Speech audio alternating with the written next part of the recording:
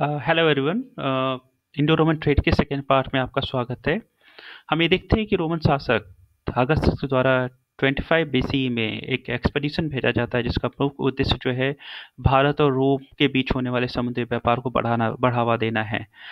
सबसे इस कड़ी में सबसे महत्वपूर्ण उपलब्धि मानी जाती है हिपालस के द्वारा मानसूनी हवाओं की खोज जो है मानी जाती है।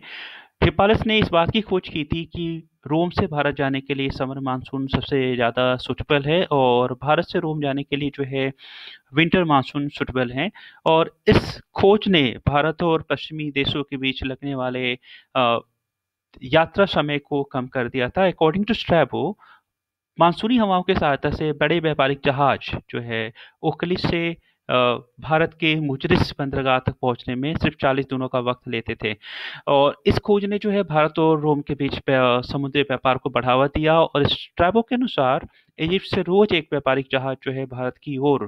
प्रस्थान करता था और लगभग वर्ष में 120 से ज़्यादा बड़े व्यापारिक जहाज़ जो है प्रस्थान करते थे। कुछ इस प्रकार के सिमिलर डिस्क्रिप्शन हमें संगम लिटरेचर में भी प्राप्त होते हैं, जिसमें पेरियार नदी के तट पर रोमन जहाजों के रुकने और उनसे गोल्ड और वाइन के उतारे जाने तथा ब्लैक पेपर के लोड होने की सूचनाएँ प्राप्त होती है। नकीरर ने भी अपनी ग्रंथों, अपनी कविताओं में इस प्रकार के विवरण उपलब्ध कराए हैं। अगस्तस के द्वारा जो है भारत और रोम के बीच होने वाले व्यापार को जो है प्रमोट करने के हमें साक्ष्य प्राप्त होते हैं और लगभग 400 वर्षों तक जो है भारत और रोम के बीच जो घनिष्ठ व्यापारिक संबंध हमें दिखलाई देते हैं और भारत से मुख्य रूप से लग्जरियस आइटम का जो है एक्सपोर्ट रोम को किया जा रहा था और प्लिनी अपने नागरिकों की इस बात को लेकर निंदा करते हैं कि जो रोमन यूथ्स हैं मेल एंड फीमेल दोनों, वो हर वर्ष दस करोड़ गोल्ड क्वांस भारत की ओर भेजते थे अपने विलासिता की वस्तुओं के लिए। और इसी प्रकार के विवरण कुछ अन्य विद्वानों ने भी हमें दिए हैं और रोमन शासक टाइबेरियस के द्वारा जो है भारत और रोम के बीच व्यापार को प्रतिबंधित करने के भी हमें उदाहरण प्राप्त होते हैं, क्योंकि उनका ऐसा मानना था कि भारत और रोम के बीच होने वाले व्यापारिक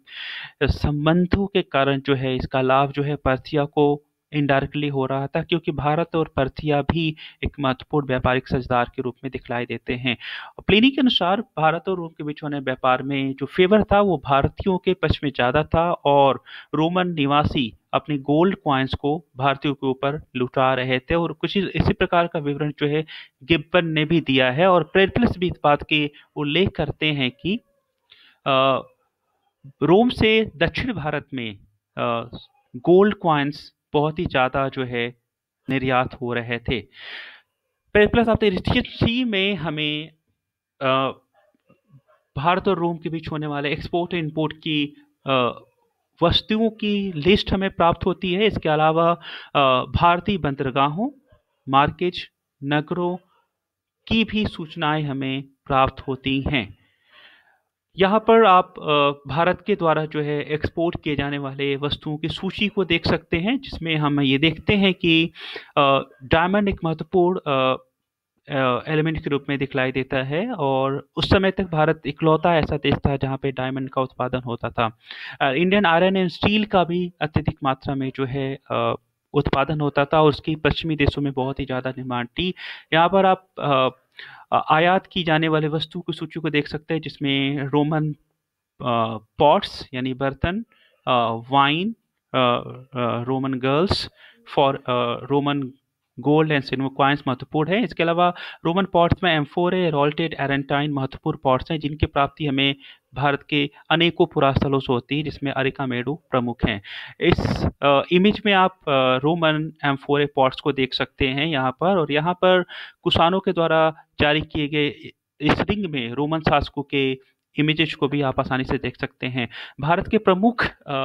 बंदरगाहों की बात करें तो वेस्टर्न पोर्ट्स पे भी हमें अनेक बंदरगाह प्राप्त होते हैं। ईस्टर्न पोर्ट्स पे बंदरगाह में प्राप्त होते हैं, जिसमें बेरीगाजा जिसका बेरीगाजा प्रमुख है, तथा मुजरिस, जिसका वर्तमान नाम पटनम है, तथा पोडिके, जिसका वर्तमान नाम अरकामेडू है, ये प्रमुख बंदरगाह थे। इस मैप में आप भारत और रोम के बीच होने वाले व्यापारिक मार्गों को देख सकते हैं, जो कि प्रमुख व्यापारिक मार्ग थे